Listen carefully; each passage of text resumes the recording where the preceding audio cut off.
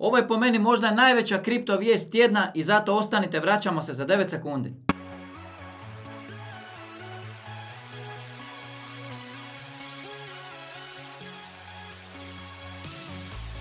Pozdrav svima, ako pratite kriptovalute i kripto teme da postanete subscriber ovog kanala, pravo je vrijeme zato jer ovdje prenosimo sve žive vijesti iz kripto svijeta, kopamo po svemu i vjerujem da ćete pronaći sadržaj za sebe. Ako još niste, pretplatite se, dajte jedan jedini like, tako ćete podržati razvoj ovog kanala i naravno ako još niste, učlanite se u kanal, samo članovi mogu gledati naše live streamove, kripto istrage i puno, puno više sadržaja. Ovako, Puno mi smo već puta pričali o tome jednog dana kada institucije krenu trpati, jednog dana kada fondovi krenu trpati, jednog dana kada mirovinski fondovi krenu stavljati novac u kriptovalute, u, u, u, u kompanije iz kripta i tako dalje. Sve smo mi to pričali i čekali. I evo, ovaj tjedan upravo se to dogodilo. Prvi puta imamo da jedan veliki mirovinski fond je odlučio investirati velike novce u nešto što je povezano sa kriptom. I zato idemo u Južnu Koreju, zato jer je ovu srijedu prije par dana jedan od najvećih svjetskih mirovinskih fondova javio se u Americi Seku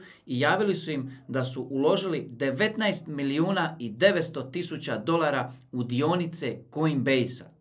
E sad vi zamislite, mi ovdje živimo u zemljama gdje mirovinski fondovi na poziv iz vlade, na poziv premijera, na poziv predsjednika trpaju novac budućih umirovljenika, vaših roditelja i nas u konačnici budućih umirovljenika u propale gubitaše, u državne firme, nemam pojma, spašava se, e, e, znači gasi se požar kad je nešto pred bankrotom pa se novcima umirovljenika spašavaju takve stvari i ko zna kako se to ulaže i gdje se raspoređuje, međutim u svijetu čini mi se da idemo u jedan drugi trend, u trend gdje mirovinski fondovi prepoznaju što je budućnost i svjesni su ako izignoriraju tu budućnost koja dolazi, da bi budućnost svih tih umirovljenika mogla biti upitna. I zato ovo je, vjerujem, samo početak. Napišite u komentar što mislite, stavite jedan jedini like podrške, pogledajte još sadržaja ovdje na kanalu i mi se vidimo uskoro.